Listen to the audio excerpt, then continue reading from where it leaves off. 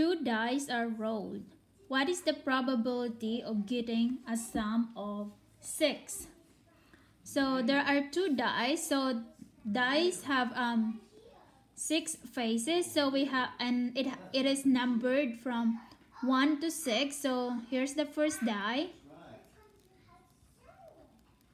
So first die. So we have 1, 1 dot, and then 2 dots, and then 3 dots, and then 4 dots, and then 5 dots, and then 6 dots. And the second die, so this is the second die.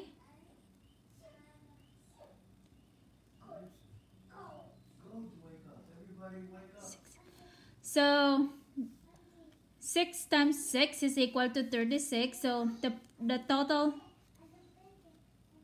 so probability of getting a sum of 6 is equal to the number of favorable cases on top over the number of total cases. So since there are two dice, so 6 times 6 is equal to 36. So this is the number of total cases. Now the favorable cases, sum of 6. So let's list all the possible cases. So if the first die is 1, then and the second die is a 5, so that's a 6.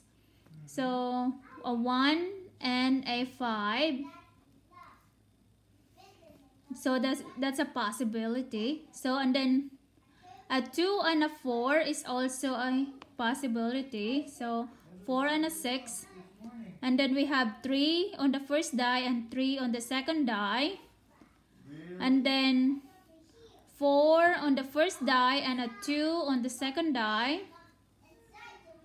And then a 5 on the first die and 1 on the second die so 1, 2, 3, 4, 5. So total number of favorable cases is equal to 1, 2, 3, 4, 5.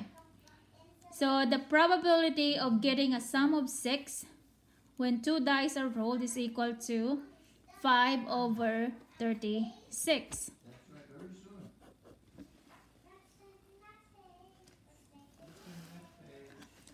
A die is rolled. What is the probability of getting an even number or a factor of 2? So first, let's do the um, numbers on die. So there is a number 1 dot, second 2 dots, 3 dots, 4 dots, 5 dots, and 6 dots. So this is the die, numbers on die. So we got 1, 2, 3, 4, 5, and 6. So the probability of getting an even number or a factor of 2. So first we do the even number. So here's an even number. It's a 2. It's 2, 4, and 6. So there are 3 possibility uh, favorable cases for an even number. So this is 3 over 6 or 1 half.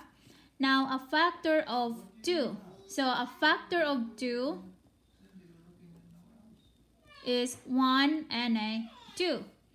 So 1 is also a prob it's also one of the favorable cases and 2 we already have we already counted 2 so we add 1. So plus 1.